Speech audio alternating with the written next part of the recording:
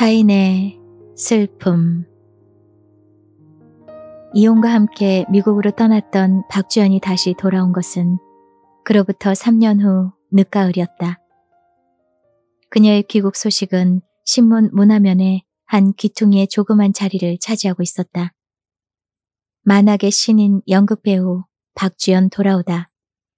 그녀의 첫 무대는 섹스피어의 오델로. 탄탄한 이론을 바탕으로 한 그녀의 연기를 기대한다는 내용이었다.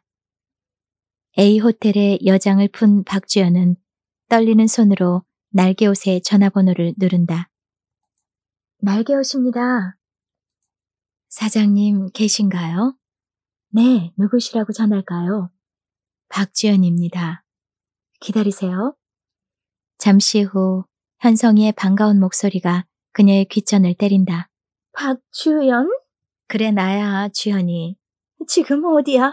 호텔. 빨리 얼굴을 보고 싶은데 내가 갈까? 아니 내가 갈게. 무대 의상도 맞출 겸. 그래 기다릴게. 송수하기를 내려놓고 그녀는 잠시 눈을 감는다. 돌아왔다. 돌아왔다. 드디어 돌아왔다. 3년이란 참으로 긴 세월이었다. 그동안 그녀는 가족에 대한 모든 것을 깡그리 잊고 살았다. 잊기 위하여 살았다. 잊혀지지 않는 모든 것을 송두리째 잊기 위하여 애쓴 시간이었다. 남편 문영세. 그의 눈 속에 그림자처럼 존재하는 허소엽을 잊으려고 그녀는 애썼다. 착한 수란이 불행을 안고 태어난 아란이를 잊기 위하여 애썼다. 자신이 한 남자의 아내였고 두 아이의 엄마였다는 사실. 10년 가까운 긴 세월 동안 자신을 돌보듯이 허서엽을 돌보았다는 사실을 하나도 남김없이 송두리째 잊으려고 했었다. 오직 자신만을 생각하고 자신만을 위하여 살았다. 그러기 위해 애쓰며 살았다. 낯선 사람들 속에서 혼자라는 느낌은 더욱 견디기 어려웠으나 모르는 사람들과 함께였으므로 한편으로 견디기 쉬웠다. 외로움을 그 누구에게도 들키지 않을 수 있어 마음 편했다. 재혼하여 살고 있는 어머니를 한 달에 한 번쯤 만나는 것도 큰 위로가 되었다. 한때는 어머니의 재혼이 슬프고 원망스러웠으나 새로운 인생을 펼치며 살고 있는 어머니의 편안한 모습에서 오히려 평온함을 느낄 수 있었다. 다른 것을 얻기 위해서는 가진 것을 모두 아낌없이 버릴 수 있는 용기가 필요하다는 것을 배우며 그녀는 이국 생활에 적응해 나갔다. 혼자, 혼자란 그 얼마나 혹독한 외로움이었던가. 깊은 밤 어둠 속에서 그녀는 이불을 뒤집어 쓰고 울었다. 차가운 눈물을 주룩주룩 흘리고 나면 기분이 한결 개운해지곤 하였다. 눈물이 맑고 감미로운 것임을 새삼 느끼며 그녀는 혼자만의 생활을 견디어냈다. 뒤늦게 시작한 연극에 대한 열정으로 그녀는 하루하루를 버티었다. 허소엽의 흔적을 몰아내기 위하여 그녀가 휘몰아온 불행의 그림자를 깨끗이 지우기 위하여 그녀는 혼신의 정열을 연극 무대에 쏟았다. 미친 듯이 낯선 언어로 소리치고 낯선 언어로 울고 낯선 언어로 웃었다. 낯선 사람들 속에서 낯선 언어로 소리치며 연극 배우 박주연으로의 변신을 꿈꿨다. 절망 속에서 발버둥치며 간절히 새로운 인생을 꿈꿨다. 꿈이란 그 얼마나 처절한 몸부림인가. 꿈이란 결코 화려한 것이 아니었다. 꿈이란 결코 장밋빛 환상이 아님을 그녀는 깨달았다. 낯선 하늘 아래서 낯선 언어로 울고 웃으며 잎을 다 떨군 겨울나무처럼 앙상한 모습으로 부대끼며 희구하는 새로운 삶은 참으로 처절하고 서러운 빛깔이었다. 허소엽의 눈 속에 잠겨있던 꿈이 바로 처절한 삶의 일부였음을 비로소 깨달았다. 허소엽의 혹독한 외로움과 절망과 비탄을 비로소 이해할 수 있었다. 그리고 허소엽에 대한 자신의 애정이 생각보다 깊다는 것을 확인하였다. 그녀에게 있어 허소엽은 이미 타인이 아니었다. 죽고 없는 추억의 사람이 아니었다. 허소엽은 그녀의 일부가 되어 살아있었다. 그녀 자신이 바로 허소엽이기도 하였다. 세상에 불구 아닌 사람이 어디 있으랴. 겉으로 지 아무리 멀쩡한 사람이라도 그 안에 서러운 상처 한 조각 가지지 않은 사람이 어디 있으랴. 불행은 누구에게나 서슴없이 닥쳐올 수 있는 것이며 결코 예감으로 끝나는 것이 아님을 이제 그녀는 안다. 그녀에게도 어느 날 갑자기 허소엽의 절망이 닥쳐올 수 있음을 안다. 그녀에게도 어느 날 갑자기 허소엽의 고통이 닥쳐올 수 있음을 안다. 그녀 자신이 허소엽의 늪 속에 이미 빠져들어 버린 것인지도 모른다.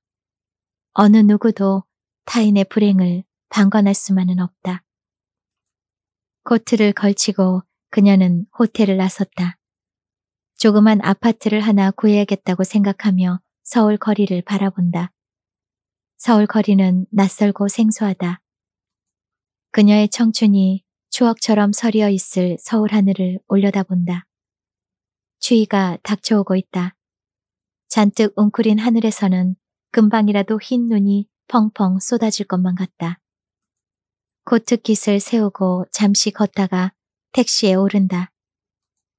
날개 옷으로 현성이에게로 3년 전 자신의 모습을 향하여 달리는 마음이 무겁고 착잡하다. 무정한 사람? 날개 옷에 문을 밀고 들어서자 현성이가 발딱 일어서며 소리친다. 첫사랑의 애인을 기다리듯이 마음 조이며 기다렸어. 그래, 이럴 수 있는 거야? 소식 한 장 없이 그럴 수 있어? 이렇게 돌아왔잖아. 3년이야. 긴 시간이라고. 그래, 3년 내내 전화 한 통 없더니 촉망받는 연극배우로 돌아와? 박주연답지 않아. 박주연다운 게 어떤 거냐고 물으려다 그녀는 빙긋 웃고 말았다.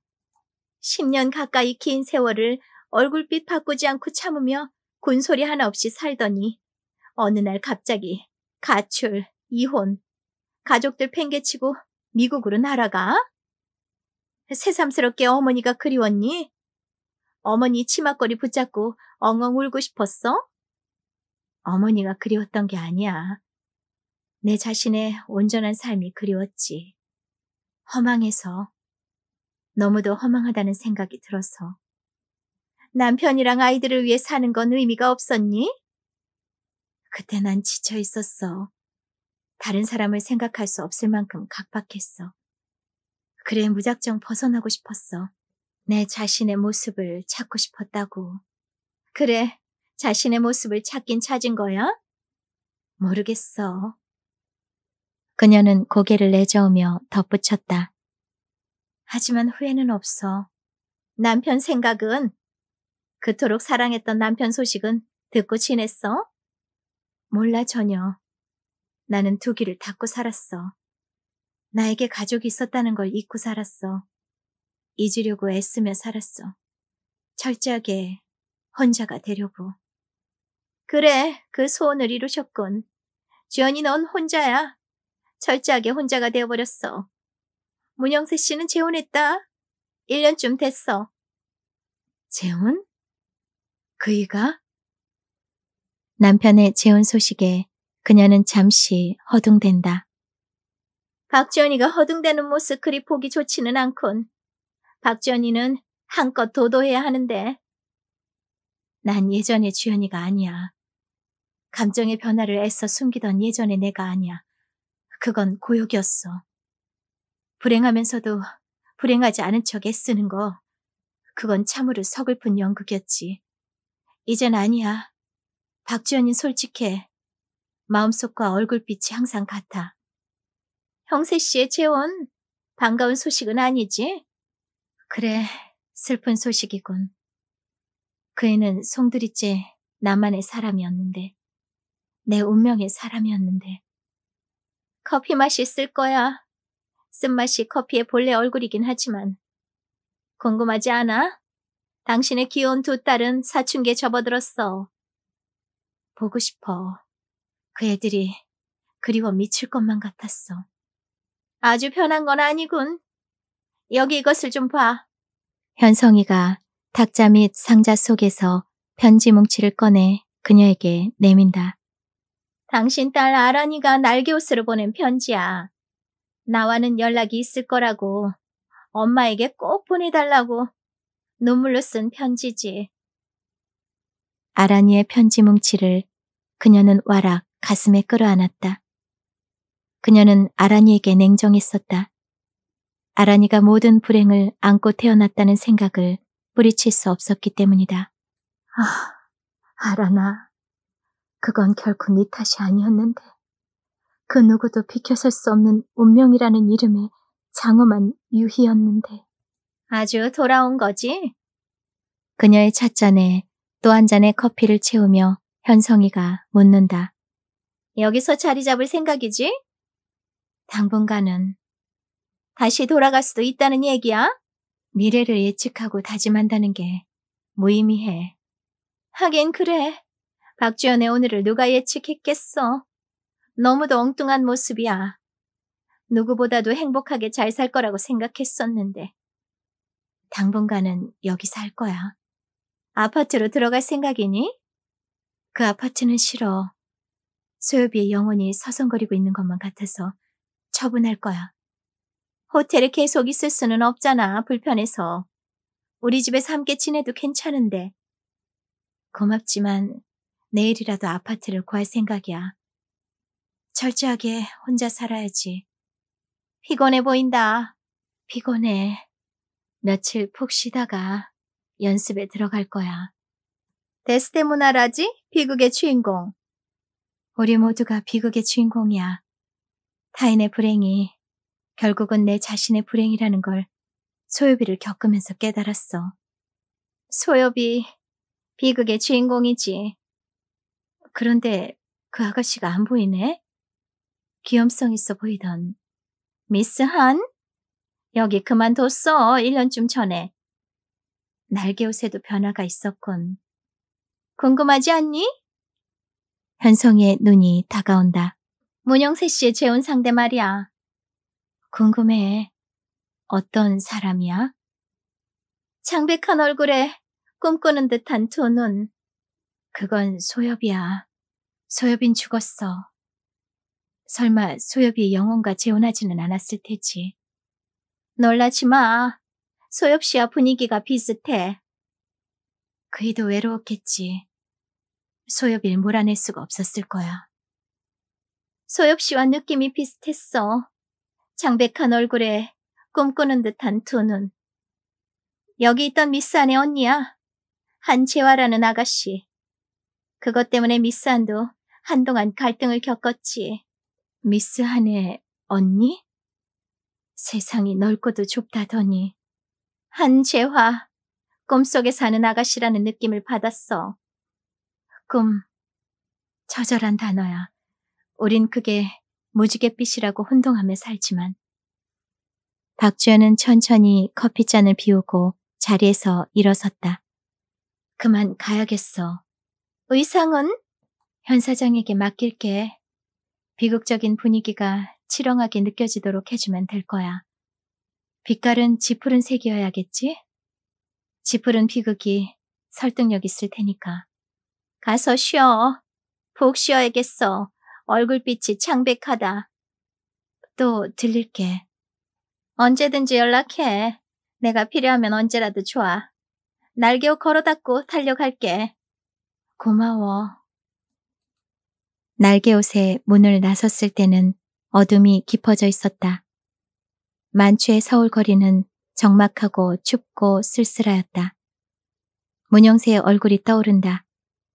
소중한 사람. 결코 타인이라 말할 수 없는 운명의 사람. 넙죽한 플라타너스 낙엽들이 후루루 바람에 날리고 있다. 울고 싶다. 어린 아이들처럼 엉엉 소리내어 울고 싶다. 길바닥에 다리를 쭉 뻗고 앉아 울어버리고 싶다. 문형세. 그를 선택한 것은 외로움 때문이었다. 그와 헤어지기를 결심한 이유도 외로움이었다. 혼자 겪는 외로움보다 둘이 함께 겪는 외로움이 더욱 처절하다는 사실이 견딜 수 없었다. 수란이와 아란이의 얼굴이 떠오른다. 버리고 싶지 않았으나 버릴 수밖에 없었던 아이들에 대한 그리움이 솟구쳐 오른다. 사람이란 그 얼마나 이기적인 존재인가. 외로움도 그리움도 다 자신의 존재 위에서 출발한다. 자기 자신을 위해서는 아낌없이 사랑하는 사람들을 버리고 돌아설 수 있다. 사랑이란 그 얼마나 허망한 것인가. 행복 또한 물거품처럼 부질없는 것이 아니던가. 바람 부는 거리를 잠시 배회하다가 그녀는 호텔로 돌아왔다. 저녁을 드는 둥 마는 둥 하고 소파에 눌러앉아 아라니의 편지를 읽는다. 아라니의 또박또박한 예쁜 글씨가 그녀의 눈물샘을 자극한다.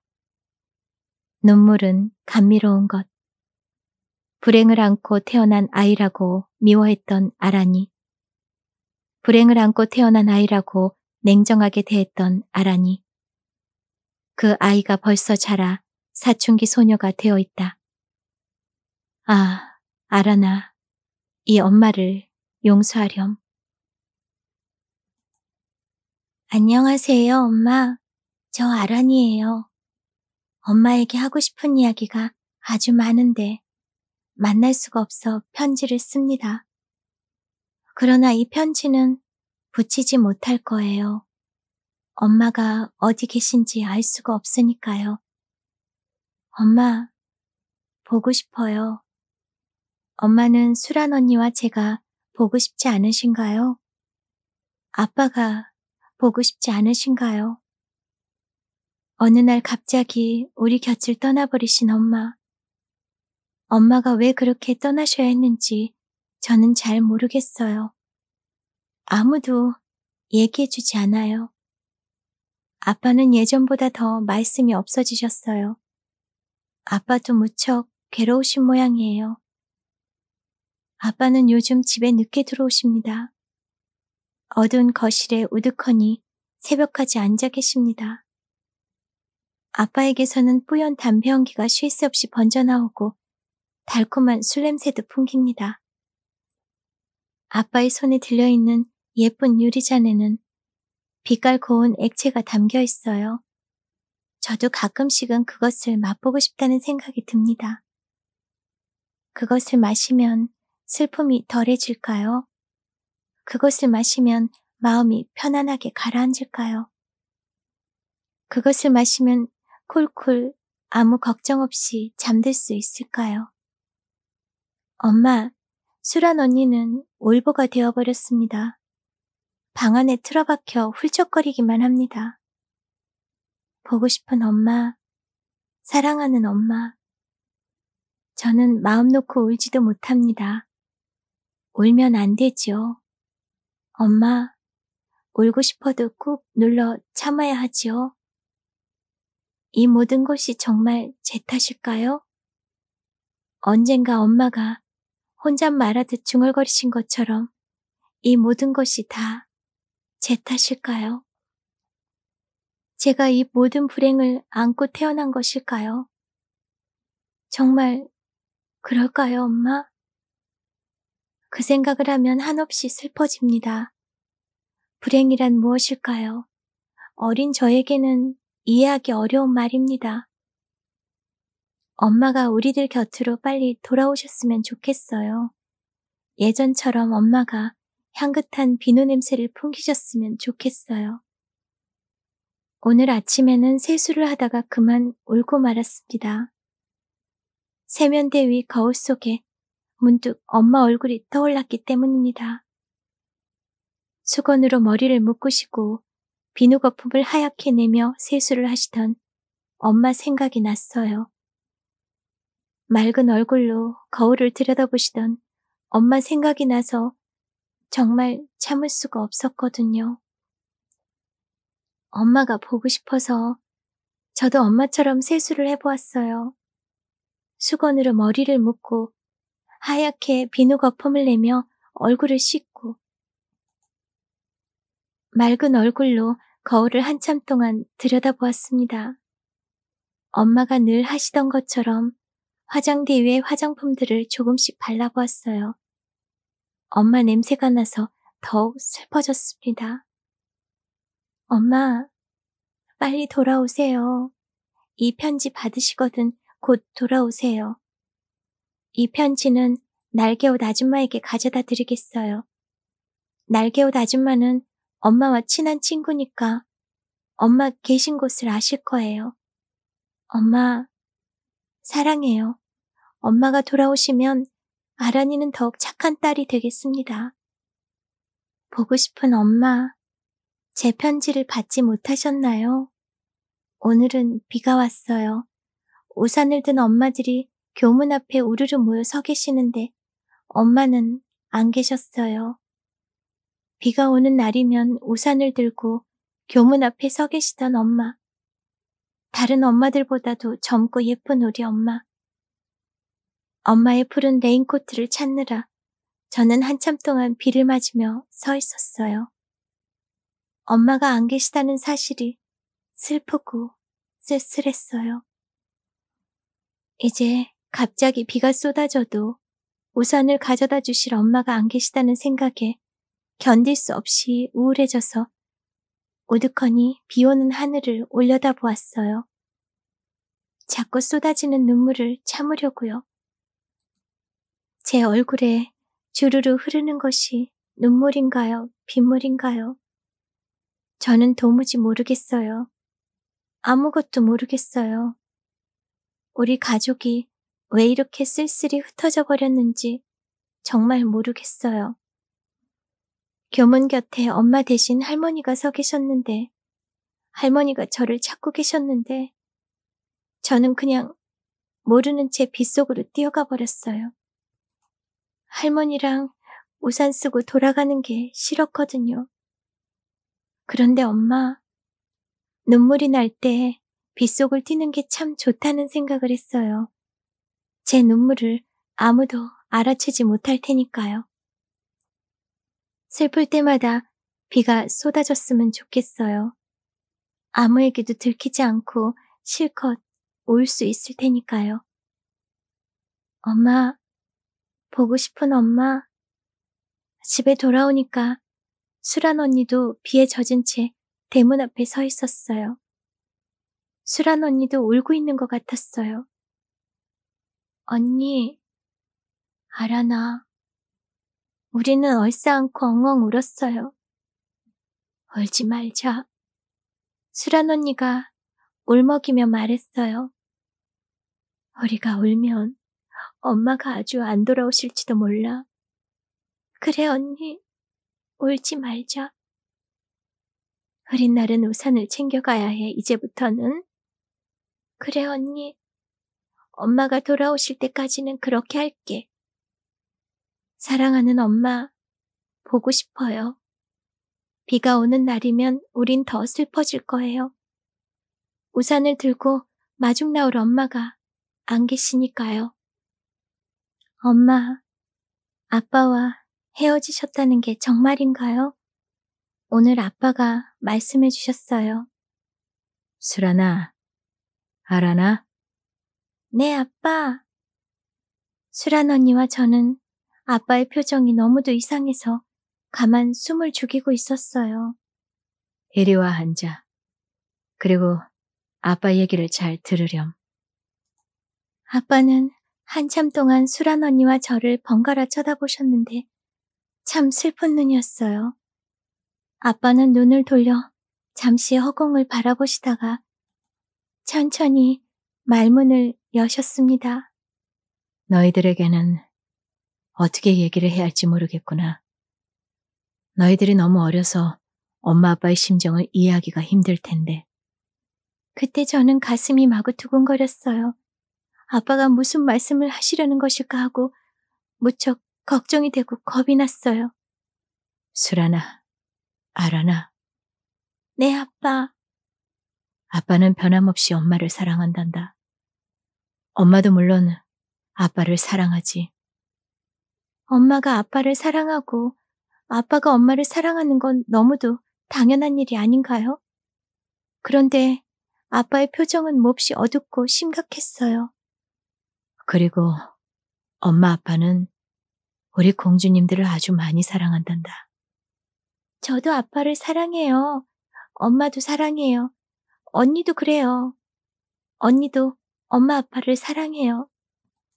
그래, 아란이 말이 옳다. 우린 모두 서로를 사랑하지. 그런데, 그런데 말이다. 아빠는 말씀을 읽기가 몹시 힘드신 것 같았어요.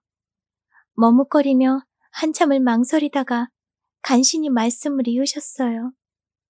엄마와 아빠는 헤어지기로 했단다. 헤어지시다니요? 수란 언니는 벌써부터 쭈루루 눈물을 흘리며 앉아 있었어요. 저는 아빠의 말씀을 도저히 이해할 수가 없어서 연거푸 되물었죠. 헤어지시다니요, 아빠? 이혼을 하신다는 거예요? 그래, 그렇단다. 아빠가 힘없이 고개를 끄덕이셨습니다.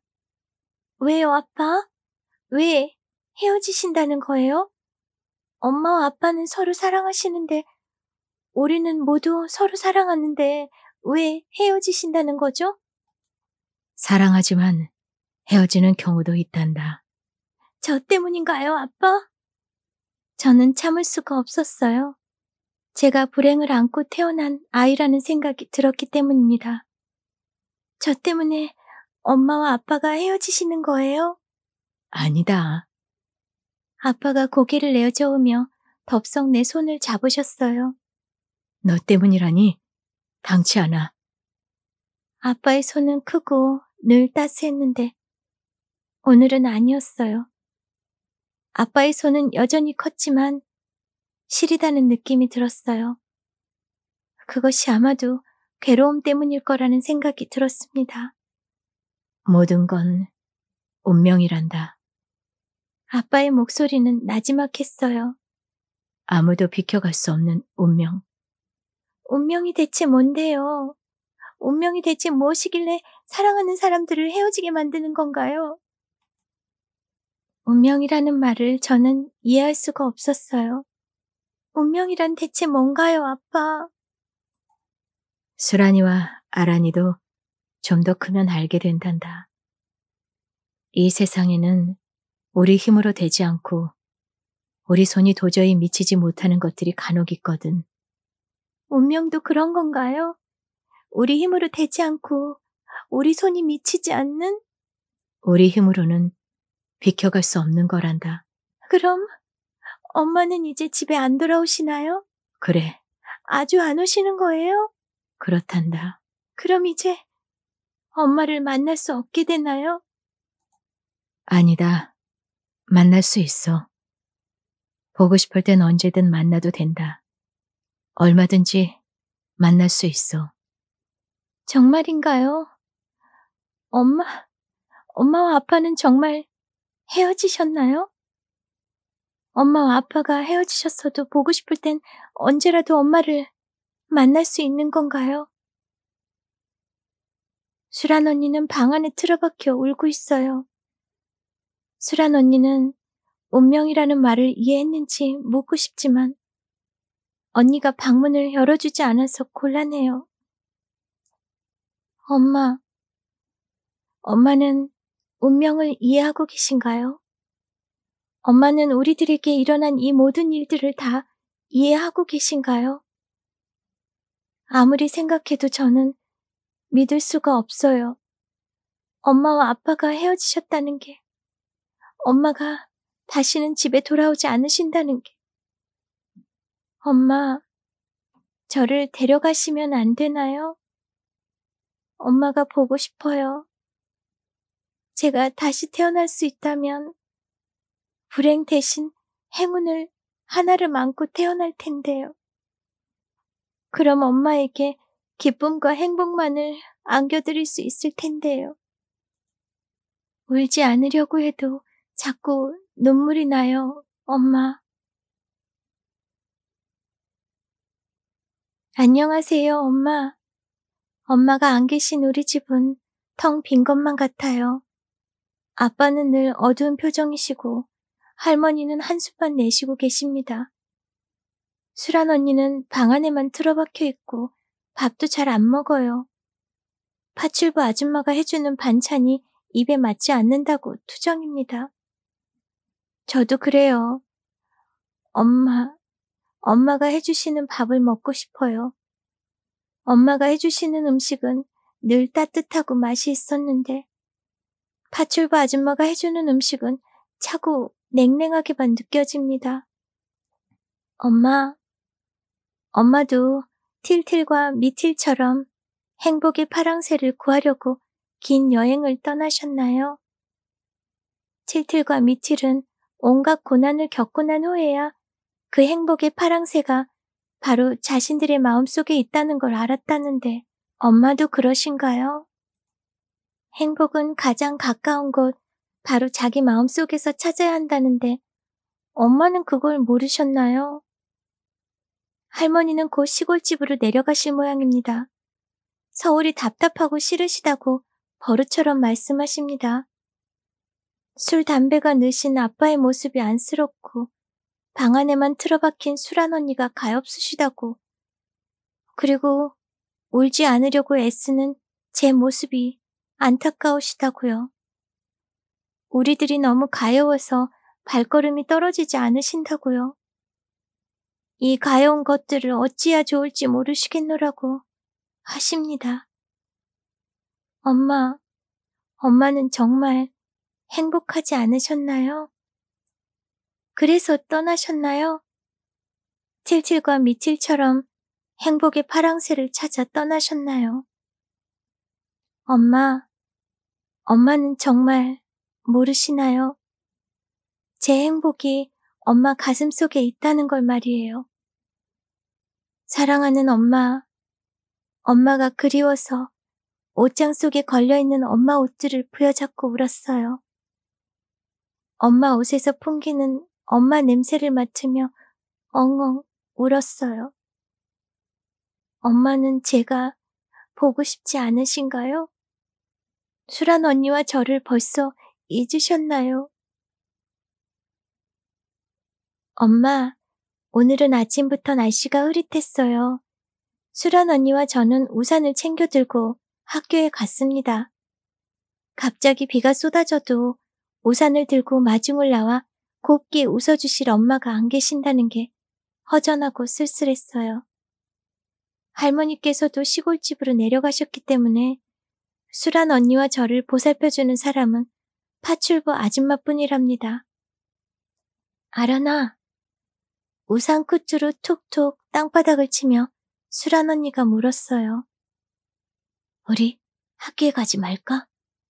학교에? 학교에 가지 말자고? 응. 고개를 끄덕이면 수란 언니가 덧붙였어요. 우리도 가출하자. 엄마처럼? 그래, 엄마처럼. 엄마한테 혼날 거야. 엄마는 우리가 학교에 갔는지 안 갔는지 모르셔. 우리와 살지 않으시니까. 아빠가 아실 텐데. 아빠한테 혼나는 게 무섭니? 아빠가 불쌍해. 우리들까지 가출해버리면 혼자 남으시잖아. 그렇구나. 학교 잘 다녀와, 언니. 그래. 아런이 너도. 갈림길에서 수란 언니와 헤어졌는데 저는 한참 동안 그대로 서서 수란 언니를 바라보았어요. 버스 정류장을 향하여 걸어가는 언니의 뒷모습이 금방이라도 쓰러져 버릴 것처럼 힘이 없어 보였어요. 저는 정말 마음이 놓이지 않았어요, 엄마.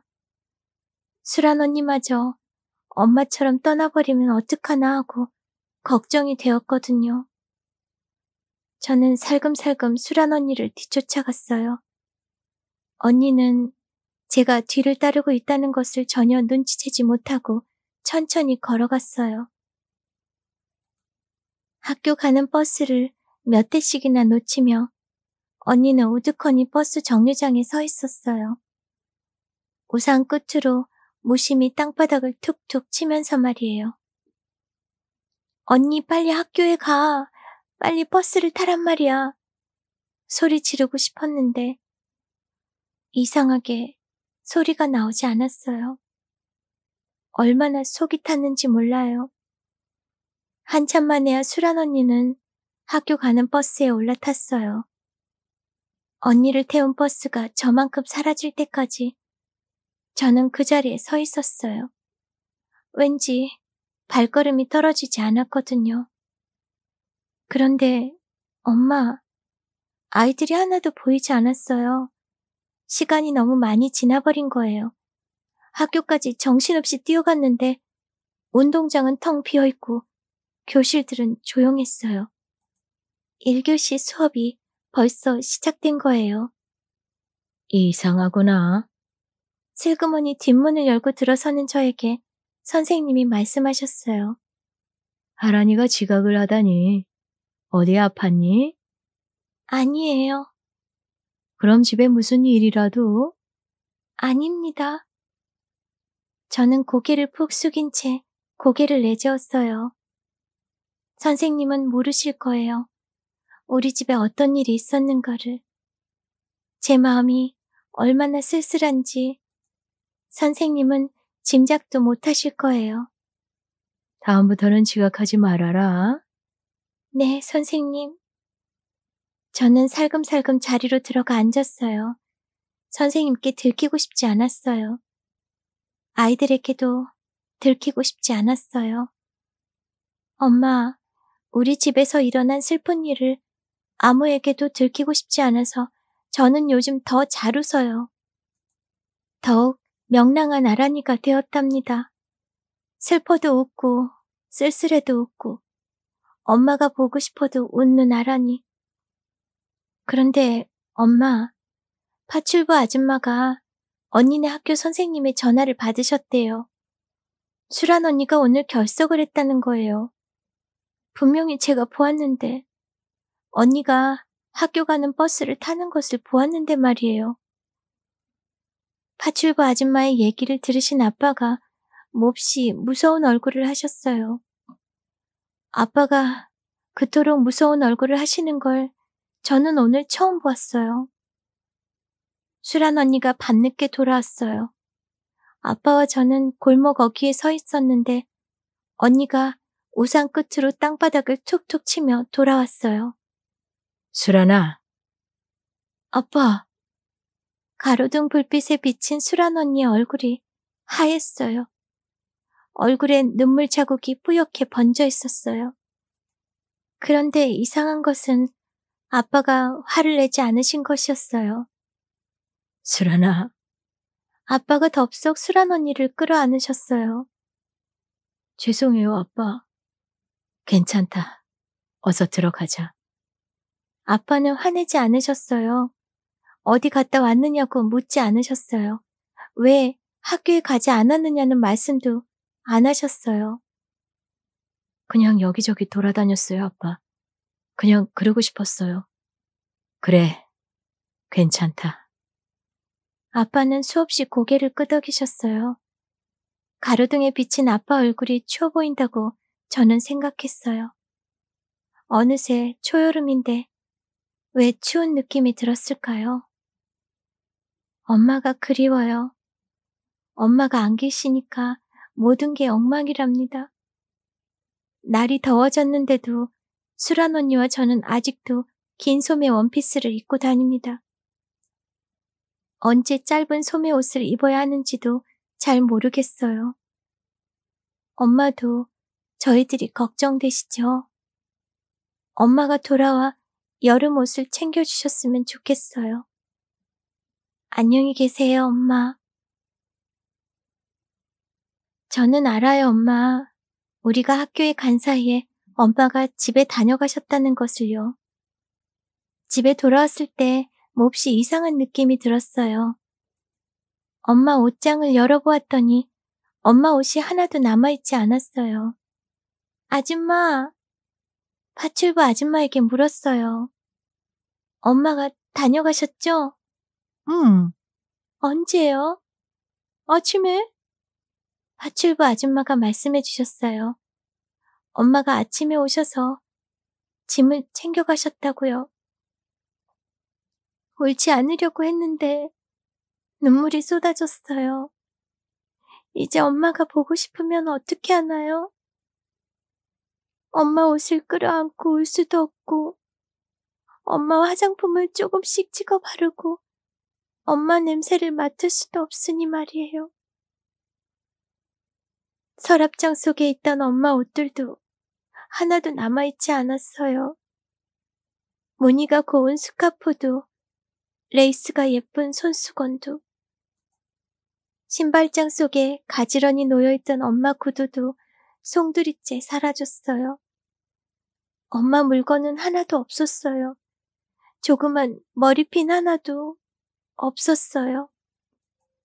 텅 빈 엄마의 화장대 서랍에서 흰 보자기에 쌓인 노트 한 권을 찾아냈어요. 일기장 같았는데 엄마 글씨가 아니에요. 그 노트 첫 페이지에 이런 시가 적혀 있었어요. 사랑하는 이여, 나 죽거든. 나를 위해 슬픈 노래 부르지 마세요. 머리맡에 장미꽃 심지 마시고 그늘 짓는 사이프러스도 심지 마세요. 비 맞고 이슬 흠뻑 젖어 푸른 풀만이 자라게 해주세요. 또한 당신이 원한다면 나를 생각해 주세요. 아니, 잊으시려거든 잊어주세요. 저는 나무 그늘을 보지 못할 거예요. 비 내리는 것도 알지 못하고 나이팅게일의 구슬픈 노래도 듣지 못할 거예요. 온갖 것 들리지도 보이지도 않는 어둠 속에 누워 꿈꾸면서 저는 당신을 생각할 거예요. 아니 어쩌면 잊을지도 몰라요. 저는 그 시를 여러 번 되풀이해서 읽었어요. 왠지 슬픈 생각이 드는 시였거든요. 그리고 그 노트를 제 비밀 상자 속에 깊이 간직해 두었어요. 흰 보자기 속에 노트와 함께 들어있는 은빛 열쇠도 잘 챙겨 두었습니다. 엄마의 일기는 아니지만 엄마의 화장대 서랍에 들어있던 것이니까 소중하다는 생각이 들었거든요. 보고 싶은 엄마, 흔적도 없이 우리 곁을 떠나신 엄마. 텅 빈 엄마의 옷장과 화장대, 서랍들처럼 제 마음이 횡하니 슬프다는 것을 엄마는 아세요? 엄마도 지금 제 마음처럼 쓸쓸하고 허전하신가요? 정말이세요, 엄마? 오늘 편지를 들고 날개옷에 갔다가 엄마 소식을 들었어요. 엄마가 며칠 후면 외할머니가 계시는 미국으로 떠나신다는 것을요. 우리 엄마 보셨어요? 아니. 날개옷 아줌마가 내 손을 잡으며 고개를 내저으셨어요. 어디 있는지 통 만날 수가 없구나. 정말 미국으로 떠나신대요? 엊그제 전화가 왔었다. 긴 얘긴 못했어. 너희 엄마가 우는 바람에. 엄마가 오셨어요? 그럼 너희 엄마도 오직 마음이 아프겠니? 어른들은 이상해요. 사랑한다면서 왜 헤어지나요? 글쎄다. 엄마는 우리들이 보고 싶지도 않으시대요. 왜 안 보고 싶겠니? 눈물까지도 다 너희들을 위한 건데. 미국은 먼 나란데. 왜 하필이면 거기까지 가신대요? 이젠 보고 싶어도 만날 수도 없잖아요. 보고 싶을 땐 언제든 만나도 된다고 아빠가 그러셨는데. 엄마도 마음이 아플 거야. 아란이도 어른이 되면 엄마 마음 이해하게 될 거야. 나중에 시간이 많이 흐른 다음에 시간이 많이 흐른 다음에는 정말 모든 것을 이해할 수 있을까요? 엄마의 아픈 마음을 이해할 수 있게 될까요? 날개옷 아줌마가 피자를 사주셨는데 한 조각도 채 먹을 수가 없었어요. 우리 아란이 피자 귀신 아니니? 피자가 싫어졌어? 피자 좋아해요. 그런데 왜 그렇게 바라만 보고 있니? 엄마 때문에. 엄마가 보고 싶어서? 네. 그러나 울지 않았어요. 울어도 소용없다는 걸 깨달았거든요. 재경 언니가 집까지 저를 바래다 주었어요. 엄마, 재경 언니 아세요? 재경 언니는 엄마를 잘 안돼요. 재경 언니는 날개 옷에서 일하는 언니예요. 마음씨가 곱고 착해요. 얼마 전에 엄마 옷을 들고 우리 집에 온 적이 있지요. 재경 언니가 말했어요. 슬플 땐 참지 말고 크게 울어버려. 참으면 마음이 더 아프거든? 목욕탕에 들어가서 물을 세게 틀어놓고 큰 소리로 울어버렴. 한결 나을 거야. 재경 언니 말대로 목욕탕에 들어가 물을 세게 틀어놓고 큰 소리로 울었어요. 재경 언니 말처럼 마음이 맑아졌어요, 엄마. 엄마가 미국으로 떠나신다는 게 믿어지지 않아요. 정말 믿고 싶지 않아요. 방에 돌아와 이불을 뒤집어 쓰고 누워있는데 수란 언니가 들어와서 이렇게 말했어요. 슬픈 일이지만 너도 알아두는 게 좋을 거야. 엄마가 미국으로 떠나신대. 저는 이불을 뒤집어 쓴 채 아무 말도 하지 않았어요. 목이 메어 한마디도 내뱉을 수가 없었거든요. 오늘 엄마를 만났어. 학교 끝나고 나오는데 교문 앞에 엄마가 서 계시더라. 엄마도 많이 여위셨어. 엄마가 며칠 후면 미국으로 떠날 거라고 너랑 사이좋게 잘 지내라고 하시더라. 연극 공부를 하실 거래. 엄마는 예전에 연극 배우가 되고 싶으셨대. 아빠를 만나 사랑하고 결혼하고 우리들을 낳고 기르시느라 그 꿈은 다 잊고 지내셨는데 늦었지만 다시 시작해 보시겠노라고 하셨어. 우리들에게 너무 미안하시다고. 하지만 그대로 눌러 앉을 수가 없으셨노라고. 우리를 아끼고 사랑하는 마음에는 변함이 없으시다고 하셨어. 엄마 말씀을 듣다 보니까 이상하게 마음이 차분해지더라. 엄마를 조금은 이해할 수 있을 것 같기도 하고, 아빠가 말씀하신 그 운명이라는 것도 조금은 알 수 있을 것 같았어. 아라나, 우리 엄마를 미워하지 말자. 엄마를 기쁘게 보내드리자. 내 말 듣고 있니? 저는 이불을 뒤집어 쓴 채 아무 말도 할 수가 없었어요. 무정한 엄마, 왜 저를 만나러 오지 않으시나요? 왜 수란 언니만을 만나고 가셨나요?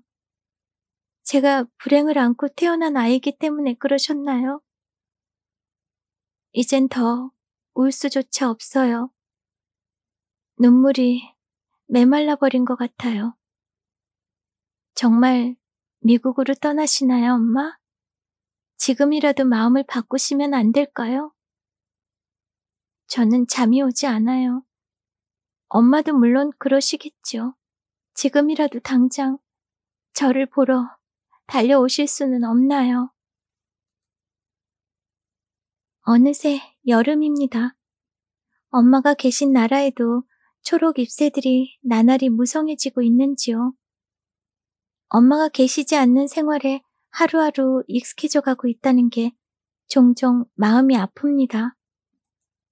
오늘 아침에는 깡총하니 짧은 여름 원피스를 찾아 입은 수란 언니와 저의 모습을 보신 아빠가 잠시 서글픈 표정을 지으셨습니다.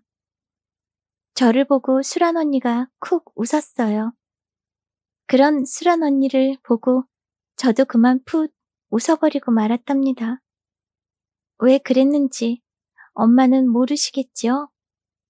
지난해 입던 원피스가 작아져 버렸기 때문입니다. 원피스가 작아질 리는 없지요. 수란 언니와 제가 훌쩍 자란 것입니다. 우리 공주님들이 많이 자랐구나. 그러시면서 아빠도 따라 웃으셨는데 아빠의 웃음은 요즘 한없이 어둡고 서글퍼 보입니다. 엄마가 떠나실 때 우리 집의 기쁨이란 기쁨은 모두 안고 가버리셨나요? 엄마가 바로 우리들의 기쁨이고 행복이셨나요? 엄마가 떠나신 그날부터 우리 집의 기쁨은 사라졌어요. 밝음도 행복도 즐거움도 모두 사라져 버렸습니다. 새 옷을 사야겠구나. 저는 언니 옷을 물려 입으면 돼요, 아빠.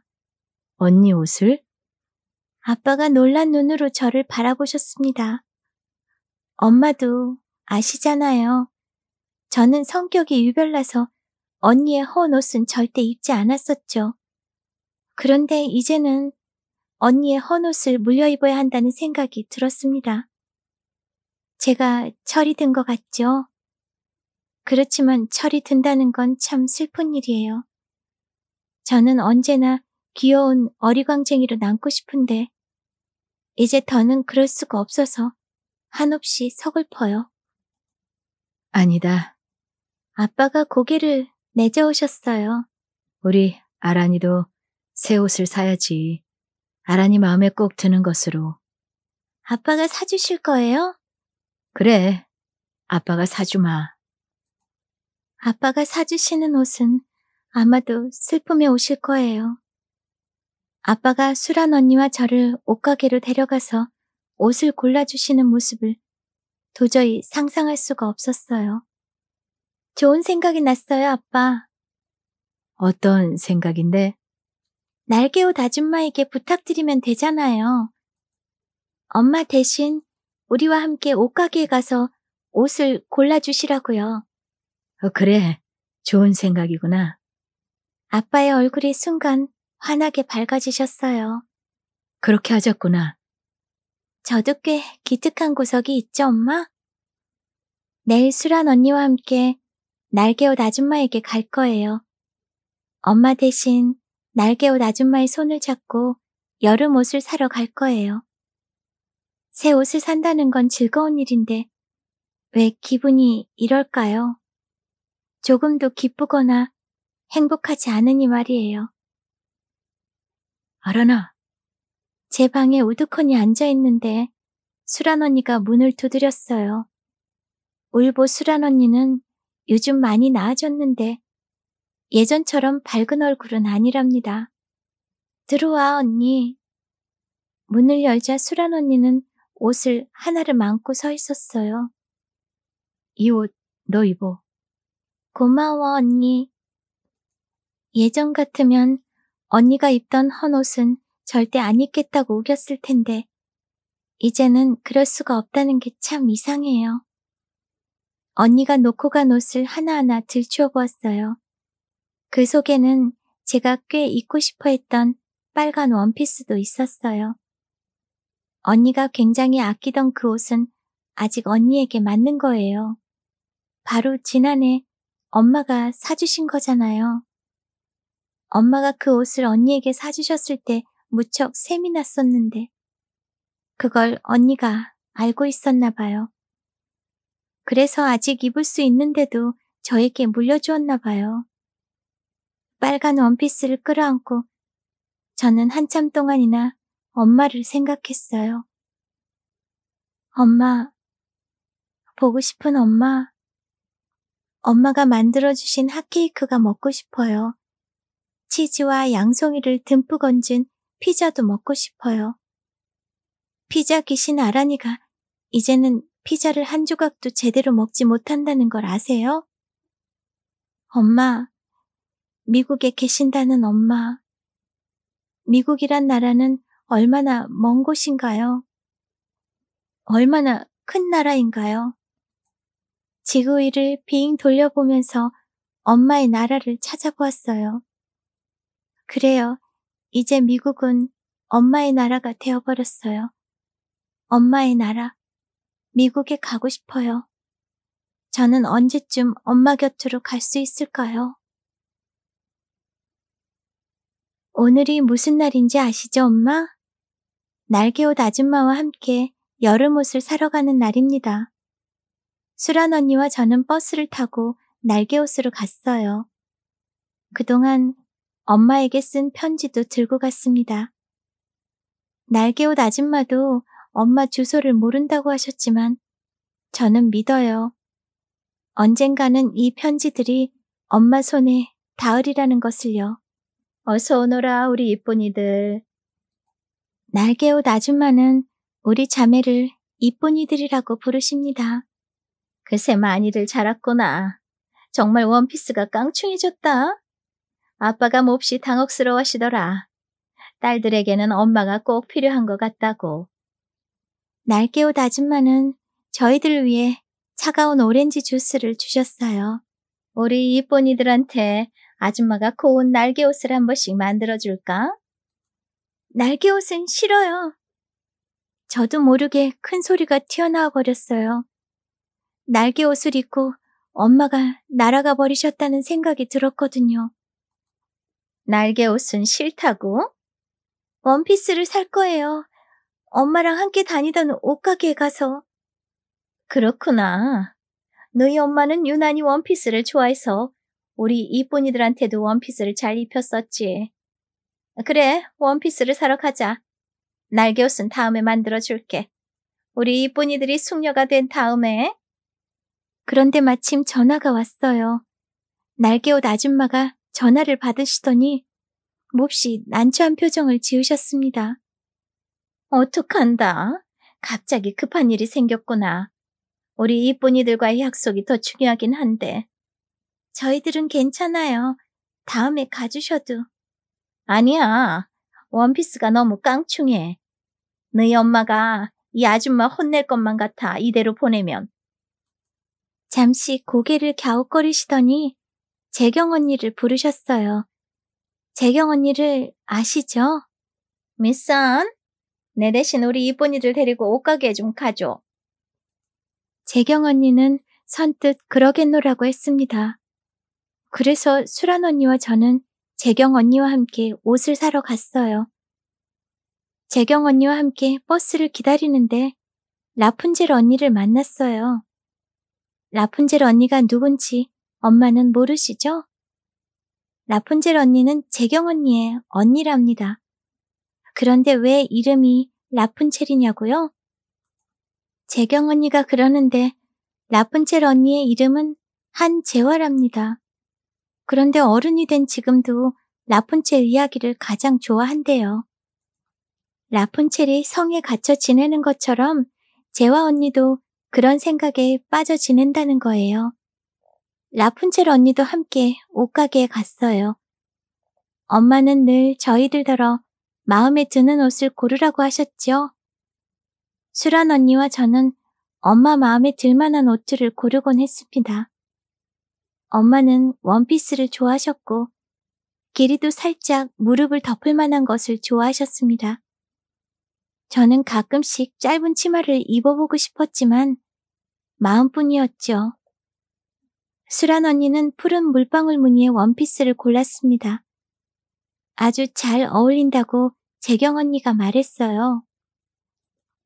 옷 고르는 솜씨가 대단하구나.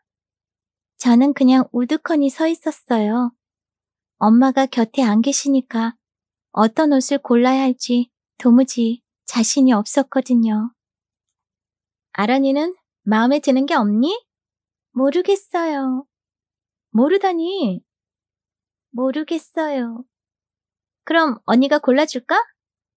네. 재경 언니가 제 옷을 골라주었는데 새 옷을 사는 일이 이토록 슬픈 일이라는 걸 오늘 처음 알았어요. 가슴 가득히 슬픔이 넘실대는 이유는 바로 엄마 때문이죠. 엄마가 곁에 계시지 않기 때문에 우리 팥빙수 먹을까? 재경 언니가 수란 언니와 저를 돌아보며 물었습니다. 팥빙수 좋아하니? 네. 한 사장님이 우리 이쁜이들 맛있는 거 사주라고 하셨는데 팥빙수 좋아해요. 생각나세요, 엄마? 옷가게 바로 옆에 있는 제과점. 새 옷을 산 날에는 을에 제과점에 들러 팥빙수와 생과자를 먹곤 했었지요. 수란 언니는 팥빙수를 절반도 채 못 먹었지만 저는 끝까지 남김없이 먹었어요. 하지만 엄마, 허전한 마음을 팥빙수로 채울 수 없다는 것도 오늘 알았습니다. 그런데 엄마, 라푼첼 언니를 본 순간 떠오르는 얼굴이 있었어요. 누군지 기억이 확실하지는 않지만 아주 어릴 적에 만났던 사람이에요. 누구일까요? 물기에 젖은 듯한 라푼첼 언니의 눈이 자꾸만 생각나요. 금방이라도 눈물이 쏟아질 것만 같은 그 눈이 낯설지 않아요. 어디선가 보았던 눈빛이에요. 그 사람이 누구일까요? 안녕하세요, 엄마. 어느새 여름방학이 다 지나버렸어요. 방학 내내 수란 언니와 저는 시골 할머니 댁에서 지냈답니다. 언니는 늘 방 안에만 틀어박혀 지냈지만 저는 뜨거운 들판을 헤매고 다니며 놀았어요. 놀다가 지치면 풀밭에 누워 하늘을 쳐다보았습니다. 온 하늘에 가득히 엄마 얼굴을 그리면서요. 매정한 사람 같으니 할머니는 하루에도 수십 번씩 그렇게 중얼거리셨습니다. 매정한 사람이 바로 엄마라는 걸 저는 알아요. 엄마는 정말 매정한 분이신가요? 아니에요. 그렇지 않습니다. 엄마도 저희들이 보고 싶으실 거예요. 눈물이 나도록 수란 언니와 제가 그립고 보고 싶으실 거예요. 끝없이 계속될 것만 같던 더위가 슬금슬금 물러나 버리고 2학기가 시작되었습니다. 시작이 있고 끝이 있다는 게 참 다행이라는 생각이 듭니다. 그런데 엄마, 그리움에는 왜 끝이 없는 걸까요? 언니는 예전보다 더욱 단단히 문을 닫아 걸어버렸습니다.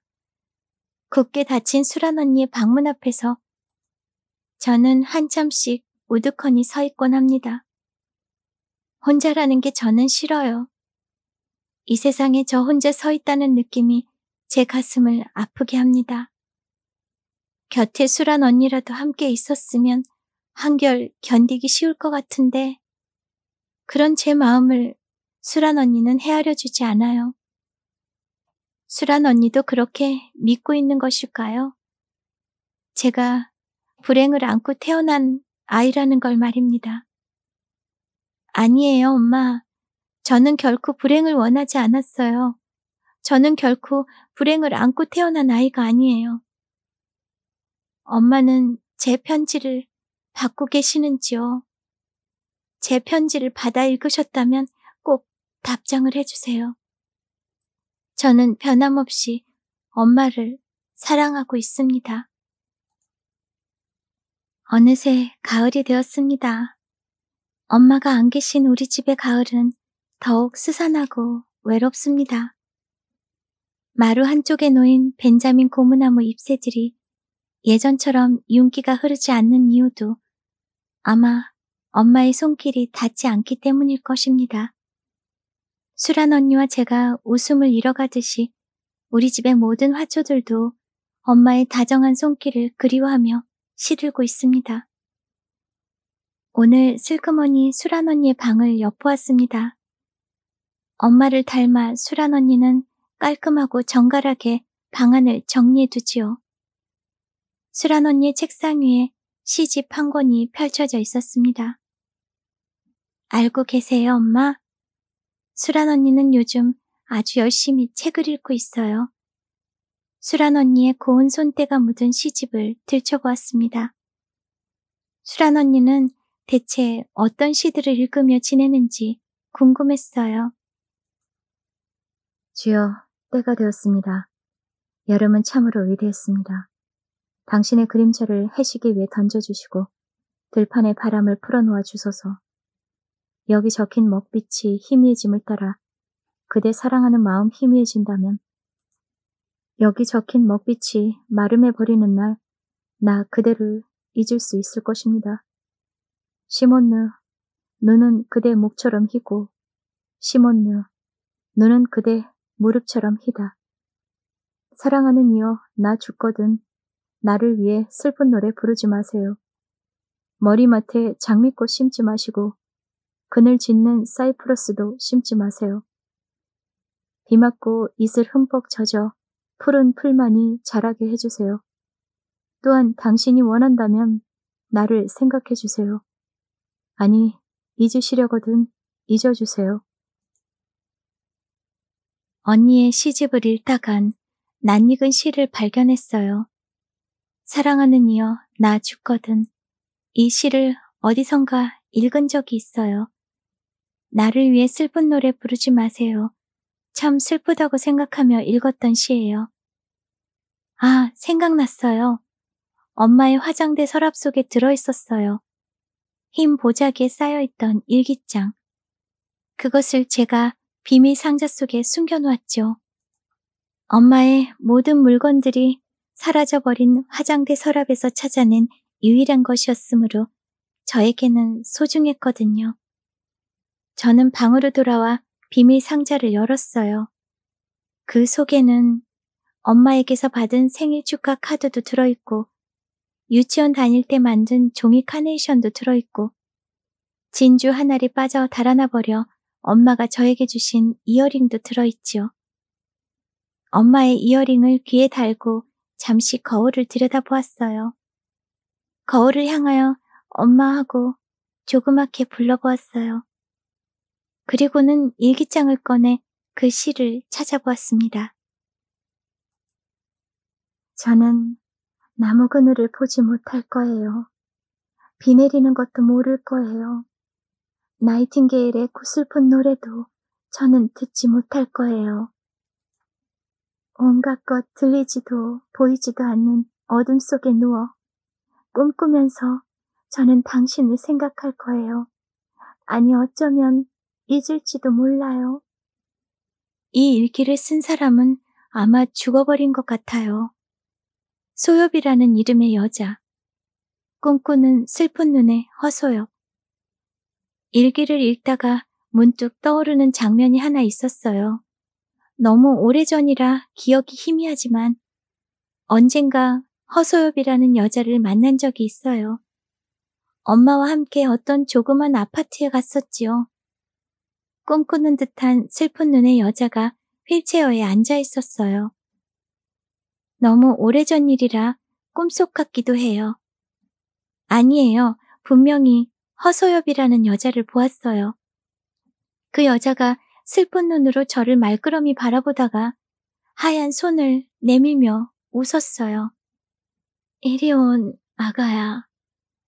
저는 그 하얀 손이 무서웠어요. 그래서 엄마 뒤로 얼른 숨어버렸습니다. 갑자기 허서엽의 모습이 떠올랐어요, 엄마. 그분의 일기를 읽다가 그만 덮어버렸습니다. 언젠가 엄마의 손을 잡고 갔던 그 조그만 아파트에 가보고 싶어요. 거기 가면 엄마를 만날 수 있을지도 모른다는 생각이 듭니다. 오늘은 왠지 마음이 어두워요. 창밖에 한입 두입 바람에 날리는 가을 잎새들이 그대로 제 모습인 듯 여겨집니다. 저 잎새들처럼 팔랑거리며 엄마에게 가고 싶어요. 엄마의 창가에서 휘날리는 낙엽 한 입이고 싶습니다. 아란이의 편지를 읽다 말고 박주연은 창밖을 내다본다. 별들이 삐죽 돋아난 하늘이 검푸르다. 아란이도 지금 창밖을 내다보고 있을까? 아란이는 밤마다 저 하늘의 별들을 내다보며 편지를 썼을 것이다. 눈물로 얼룩진 아란이의 편지들을 가슴에 끌어안는다. 그래, 아란아, 네가 안고 온 불행이 아니었어. 너를 두고 떠날 수밖에 없었던 이 엄마를 이해하렴. 너 대신 이 엄마가 끌어안아야 했던 허물을 이해하렴. 그때 이 엄마의 가슴 속에는 아무것도 없었어. 바람소리만 횡했었지. 허소엽과 함께 엄마의 모든 것은 사라지고 없었어. 그래, 알아나. 허소엽은 결코 타인이 아니었어. 허소엽은 우리 가족의 일부였지. 때로는 아란이 너이기도 했고, 때로는 이 엄마 자신이기도 했지. 가끔씩은 우리 모두의 실체이기도 했다.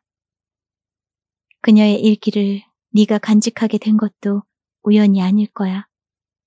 그녀의 죽음으로 우리 가족의 안락함이 무너져 버린 것. 그리고 그녀의 아픔을 딛고 우리 가족이 웃을 수 있었다는 사실이 견딜 수 없어 내가 너를 버린 것. 그 모든 것이 비껴갈 수 없었던 우리의 운명이었단다. 이 엄마도 너희들이 그리웠단다. 너희들이 보고 싶어 한없이 눈물을 흘린 적도 많았지. 이불을 뒤집어 쓰고 엉엉 소리내어 운 적도 많았다. 엄마를 용서하렴. 이제야 너희들 곁으로 돌아온 이 매정한 엄마를 용서하렴. 떨리는 손으로 그녀는 송수아기를 집어든다. 지금이라도 당장 딸들에게 달려가고 싶은 간절한 소망을 애써 억누르며 그녀는 천천히 번호판을 누른다. 여보세요. 귓전에 다가오는 낯선 목소리가 그녀의 우울을 짙게 한다. 여보세요. 되풀이되는 목소리는 아마도 한재와의 것이리라. 허소엽처럼 꿈꾸는 듯한 눈을 찌녔다는 그녀. 그녀는 어떤 모습일까? 여보세요. 한재와의 목소리는 온화하다. 따스한 물결이 넘실대는 것 같다. 아늑한 저녁 창문에 불빛 같다. 누구세요? 누구를 찾으십니까? 대답 대신 그녀는 고개를 가로저으며 송수아기를 내려놓는다. 그녀의 손끝에서 쭉 힘이 빠져나가는 것 같다. 와락 눈물이 치밀어 오른다. 자신의 자리를 대신하고 있는 한재화에게 오히려 그녀가 묻고 싶었다. 전화를 받는 당신은 누구신가요? 당신이 바로 문영세의 새 아내인가요? 수란이와 아란이의 새 엄마인가요? 그래서 지금 당신은 행복한가요? 문영세와 그리고 두 딸아이도 행복한가요? 당신들의 행복 그 어디쯤에 허소엽의 그림자는 이제 없나요? 그녀는 문득 한기를 느꼈다. 실내는 따스하였으나 가슴 가득 치밀어 오르는 서러움 때문에 그녀는 추웠다. 이불을 뒤집어 쓰고 앉아 그녀는 울기 시작하였다. 문영세와 수란이와 아란이의 얼굴을 떠올리며 나지막하게 그들의 이름을 부르며 울었다. 이제는 죽고 없는 허소엽의 슬픔이 자신의 가슴 안으로 옮겨져 버린 듯한 느낌이 들었다. 허소엽의 슬픔을 이제 비로소 이해할 수 있을 것 같았다. 그 조그만 아파트에서 벤자민 고무나무 화분처럼 창문을 내다보며 그녀도 이렇게 울었으리라. 죽어버린 아기를 생각하며 울었으리라. 장미 향내와 문영새를 생각하며 울었으리라. 가족들이 모여 따스히 불 밝히고 나눌 저녁의 안락함을 그리워하며 울었으리라. 혼자임이 서럽고 가슴 아파 주룩주룩 울었으리라. 아무도 눈물을 닦아줄 사람이 없음을 깊이 외로워하며 울었으리라. 그녀의 울음 사이로 전화벨이 울리기 시작하였다. 이불을 걷어내리고 그녀는 전화기를 바라보았다. 손등으로 눈물을 닦으며 멀거니 전화기를 바라보았다. 끊어질 듯 하다가 다시 이어지는 벨소리에 그녀는 천천히 송수하기를 집어들었다. 여보세요. 박주열 씨? 네. 마침 계셨군요. 도착하셨다는 소식 듣고 전화드리는 겁니다. 김재훈입니다. 아, 네. 김재훈은 피극단의 단장이며 연출가였다. 내일쯤 전화 드릴 생각이었어요. 지금 피곤하시죠? 네? 사실은 커피숍에 와 있습니다. 잠깐 내려오실 수 있겠습니까? 잠깐이면 됩니다. 그러죠. 곧 내려가겠습니다. 송수하기를 내려놓고 그녀는 욕실로 들어가 얼굴을 씻었다. 화장과 눈물 자국이 씻겨나간 맑은 얼굴이 거울 속에 떠올랐다. 박주연. 그녀는 문영세의 아내로 돌아온 게 아니다. 수란이와 아란이의 엄마로 돌아온 것도 아니다. 허수엽의 슬픈 그림자를 밟으려고 돌아온 것은 더욱 아니다. 그녀는 이제 박주연일 뿐이다. 연극 배우 박주연일 뿐이다. 이제 더 이상은 눈물을 흘리지 않으리라. 화장을 지운 맑은 얼굴로 그녀는 커피숍을 향하여 내려갔다. 커피숍의 불빛은 밝고 음악은 잔잔하였다. 박주현 씨! 김재훈이 손을 흔들었다. 김재훈 곁에는 낯선 사나이가 무너질 듯 앉아 있었다. 김재훈은 지난해 뉴욕에서 만난 적이 있으므로 금세 알아볼 수 있었다. 아니다. 그녀는 몹시 피곤하였으므로 그가 손을 흔들지 않았더라면 잠시 허둥댈 뻔하였다. 게다가 그는 웬 낯선 남자와 함께였으므로 소개하죠. 무례한 이 남자. 김재훈이 낯선 남자를 소개하였다. 대학 동창인데 희곡 작가예요. 이강민이라고. 데뷔 초기에는 꽤 촉망받는 작가였는데 요즘 혼란 속을 헤매고 있죠. 안녕하세요. 모키 아빠 이강민입니다. 이강민이 손을 내밀며 덧붙였다. 생각보다 젊으시군요. 신인이라는 말이 어울리지 않는 신인이라기에 기대하지 않았는데. 글쎄 이 친구가 이래요. 누구 앞에서나 거침없이 혼란을 부린다니까요. 김재훈이 허허 웃으며 말하였다. 지원 씨가 이해하십시오. 박지연입니다. 그녀는 가볍게 이강민의 손을 잡았다 놓고 자리에 앉았다. 김재훈이 물었다. 커피 좋으세요? 네. 주문한 커피가 올 때까지 이강민은 말이 없었다. 슬그머니 눈을 감고 소파 깊숙이 들어앉아 있었다. 주은 씨, 김재훈과 그녀가 나누는 이야기를 잠자코 들으며 눈을 감고 있던 그가 문득 입을 열었다. 사실은 주현 씨에게 부탁이 있었습니다.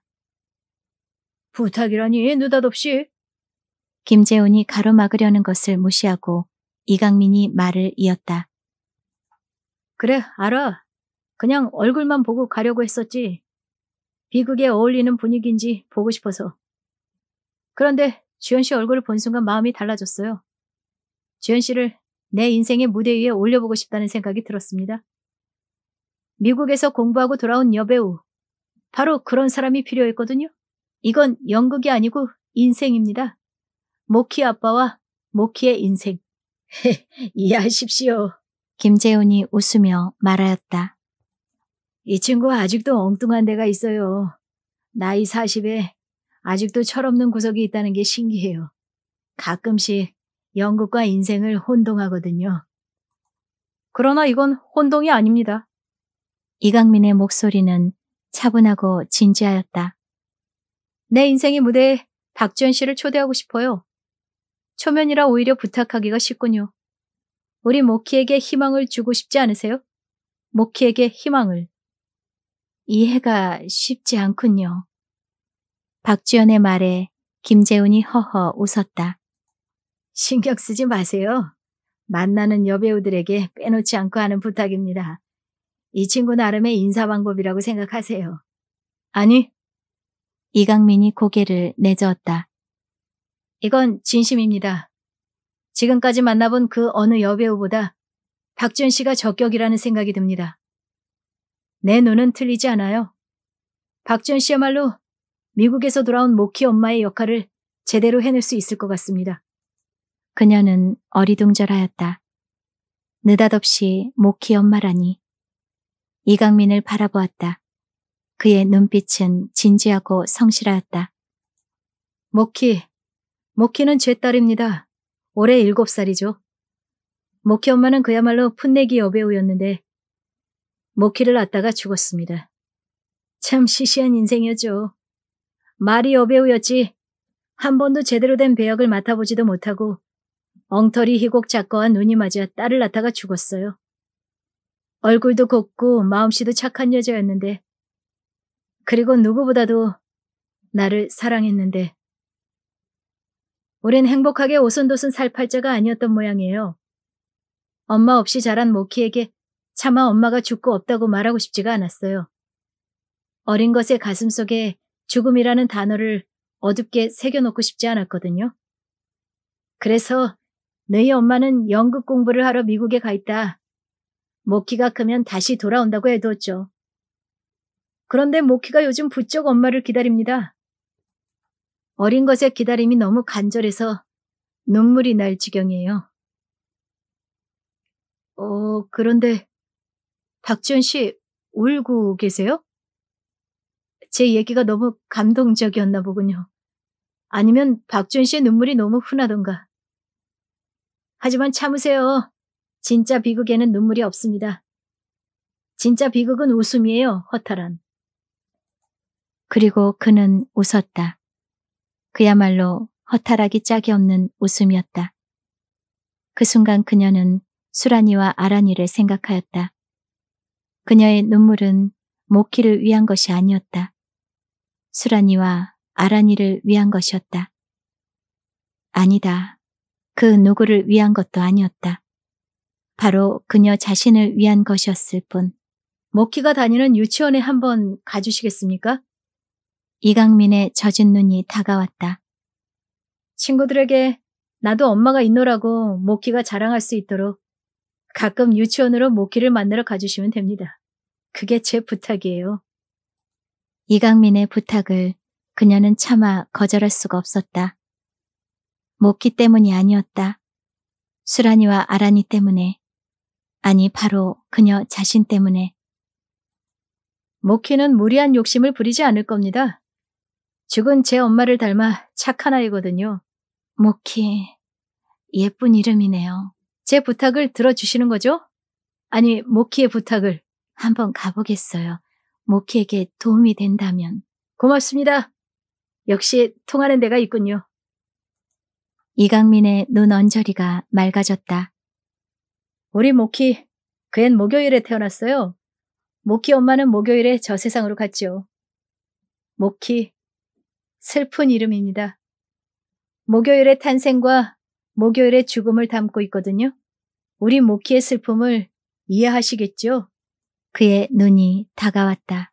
거절하세요. 싫다고 하세요, 주연 씨. 김재훈이 거들었다. 이 친구의 무대에 끼어들지 마세요. 인생과 연극을 형편없이 혼동하고 사는 친구예요. 목요일에 태어나서 모키라. 그건 지금 이 자리에서 꾸며낸 이야기예요. 사실은 이 친구가 사랑방 손님과 어머니라는 소설을 좋아했거든요. 거기 나오는 소녀가 오키잖아요. 그래서 딸의 이름을 오키라고 지으려는 걸 우리가 말렸습니다. 그랬더니 모키라고. 목요일에 태어났으니 모키라고. 모키에게 가주시겠죠? 이강민의 눈이 다가왔다. 진지한 그의 눈빛이 그녀를 압박하였다. 네. 그녀는 고개를 끄덕이며 중얼거렸다. 모키를 위해서가 아니라 제 자신을 위해서 가겠어요. 고맙습니다. 이유가 무엇이든 우리 모키에게만 가주신다면 모키. 목요일에 태어난 아이. 어떤 아이인지 궁금하네요. 이번엔 예감이 좋았어요. 밝은 목소리로 이강민이 외쳤다. 박지연이라는 이름 때문이었을 거예요. 박지연. 내 인생의 지연으로 등장하다. 미국에서 모키 엄마가 돌아오다. 모키야, 조금만 기다려라. 엄마가 간다. 모키 엄마가. 그의 눈 언저리에 반짝 이슬이 서리어 있었다. 이 친구 때문에 그만 일어서야겠습니다. 김재훈이 그의 팔을 잡아 일으키며 말하였다. 이 친구 울기도 잘해요. 조금 더 있다가는 엉엉 소리내어 울 겁니다. 일곱 살짜리 꼬맹이하고 살더니 울보가 다 됐어요. 죄송합니다. 피곤하실 텐데. 아니, 괜찮습니다. 극단 사무실로 연락 주세요. 네. 모키를 부탁합니다. 국민학생처럼 깊숙이 고개를 숙이고 이강민은 돌아섰다. 그의 뒷모습이 어둠처럼 깊고 쓸쓸하였다. 모키. 목요일에 태어난 모키라는 꼬마를 생각하며 그녀는 방으로 돌아왔다. 탁자 위에 펼쳐진 아라니의 편지 위에 모키의 얼굴이 겹쳐 떠올랐다. 그 얼굴은 바로 아라니의 얼굴이었다. 수라니의 얼굴이기도 했고 허소엽의 얼굴이기도 하였으며 바로 자신의 얼굴이기도 하였다. 그녀는 풀썩 주저앉아 다시 아라니의 편지를 읽기 시작하였다. 겨울이 되었습니다, 엄마. 첫눈이 푸짐하게 내리고 바람이 매서워졌어요. 엄마가 우리 곁을 떠나실 때는 봄이었는데 여름과 가을이 지나고 창밖에 나무들이 앙상한 가지를 벌리고 서 있습니다. 그 모습이 마치 수란 언니와 저 같아요. 수란 언니는 다시 피아노 연습을 시작했습니다. 수란 언니의 방에서는 피아노 소리가 가득 울려 나오고 피아노 연습을 하지 않을 때는 모차르트의 음악이 흐릅니다. 수란 언니는 모차르트를 좋아해요. 엄마도 모차르트를 가장 좋아하셨죠? 수란 언니는 여전히 말이 없습니다. 혼자 무슨 생각에 빠져 있는지 늘 궁금해요. 수란 언니도 엄마를 그리워하겠죠? 수란 언니가 열정적으로 피아노 건반을 두드릴 때 저는 느껴요. 수란 언니가 얼마나 엄마를 그리워하는지. 아빠는 굉장히 바빠지셨어요. 여전히 그늘진 얼굴이시지만 어느 때보다도 사업에 열중하시는 것 같아요. 아빠가 늘 늦으시고 출장이 잦으시기 때문에 시골에서 할머니가 자주 올라오십니다. 아무래도 누군가 한 사람 있어야겠다고 할머니는 말씀하세요. 하지만 그 누가 오더라도 엄마의 빈자리를 채우지는 못할 거예요. 엄마는 연극 공부를 하고 계시나요? 저도 엄마처럼 연극 배우가 되고 싶어요. 엄마와 함께 연극 무대에 올라선다면 참 멋질 거예요. 보고 싶어요, 엄마. 겨울이 되니까 엄마의 빈자리가 더욱 휑하니 느껴집니다. 엄마는 춥지 않으세요? 수란 언니와 제가 보고 싶지 않으신가요? 엄마, 라푼젤 언니를 아시지요? 라푼젤 언니가 우리와 함께 살게 되었습니다. 라푼젤 언니는 희고 창백한 얼굴에 마음씨가 아주 곱고 착합니다. 지난 봄 라푼첼 언니가 많이 아팠을 때 아빠가 친절을 베푸셨다고 해요. 재경 언니가 라푼첼 언니를 업고 서성거리고 있을 때 마침 그곳을 지나던 아빠가 병원에 데려다 주셨다고 합니다. 라푼첼 언니는 미싱사였는데 몸이 아파 더 일을 계속할 수가 없었대요. 식구 한 사람이 늘어서 저는 기뻐요. 엄마, 저와 마주 앉아 이야기를 나눌 사람이 생겨 얼마나 기쁜지 몰라요. 혼자가 아니어서 좋은 제 기분을 이해하시겠어요?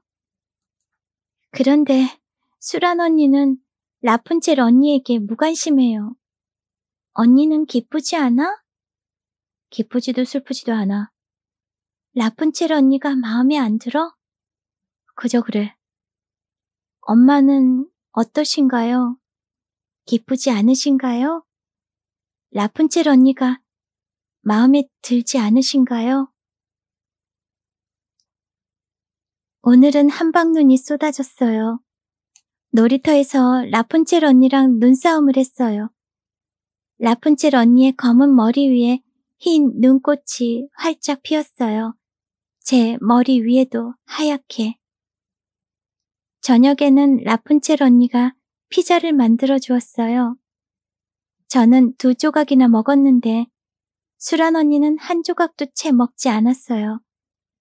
피자를 보니까 엄마 생각이 더 나는 모양이에요. 피자를 먹으며 라푼첼 언니가 이야기를 해주었습니다. 라푼첼이 마녀의 성에 갇혀 살았다는 이야기.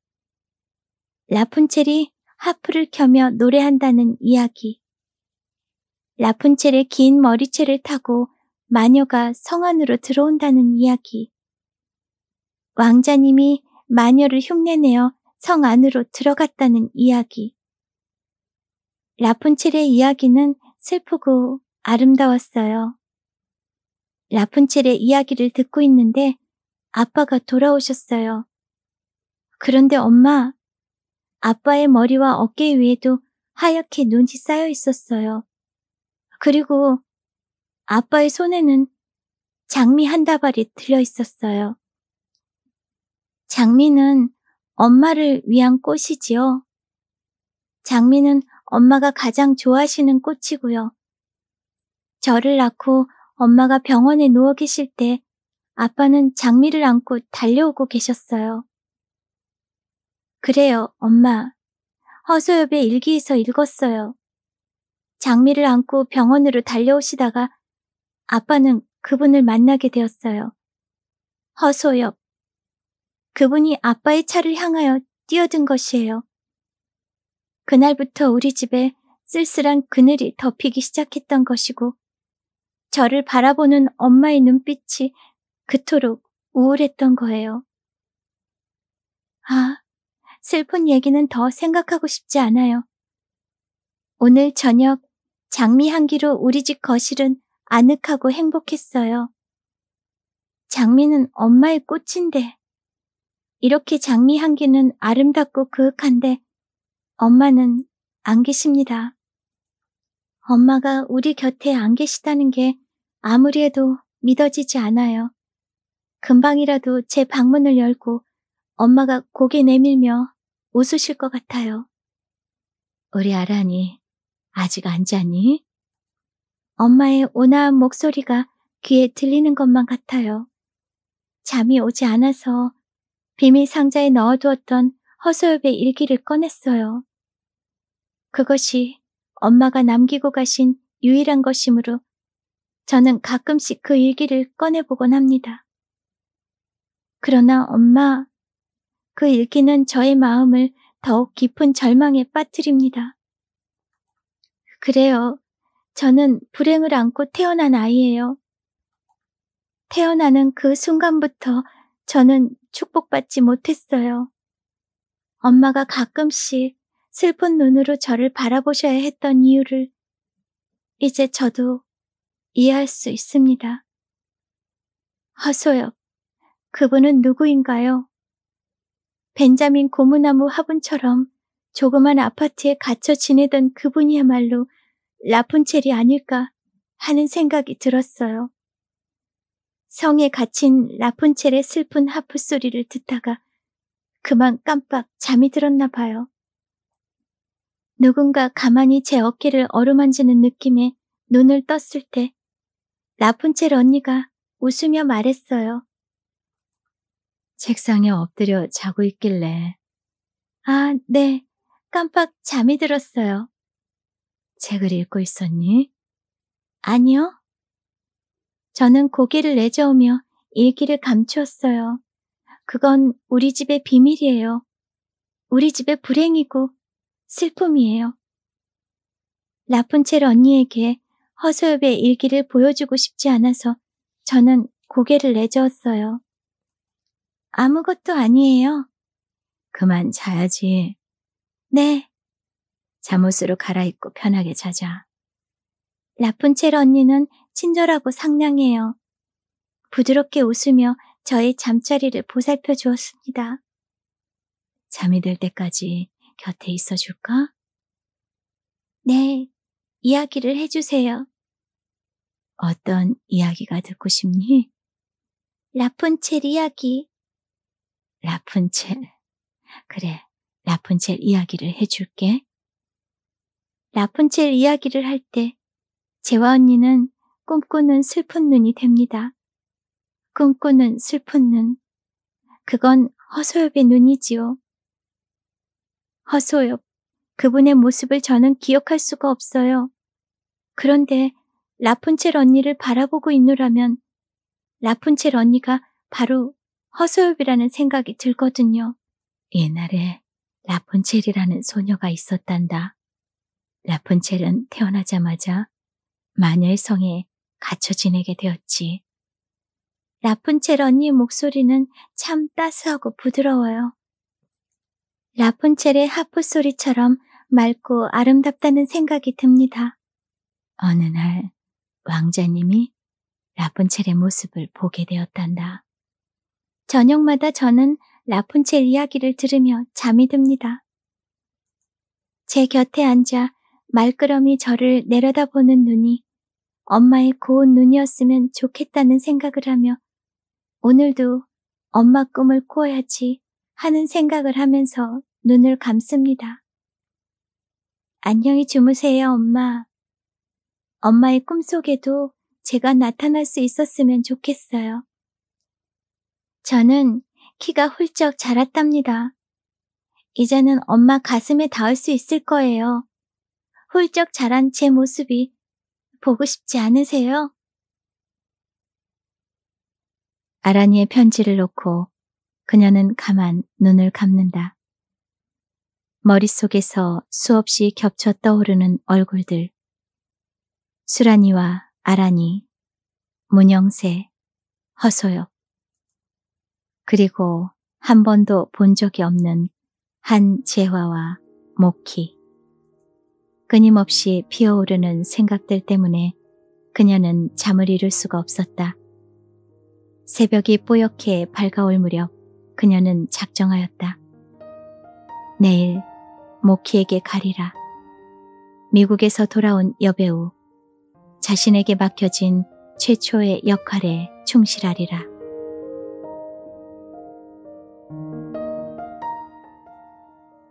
네, 나팔 수선화 네 번째 이야기를 여기서 마치도록 하겠습니다. 다음 시간에 또 찾아뵙겠습니다. 편안히 머무셨길 희망합니다. 감사합니다.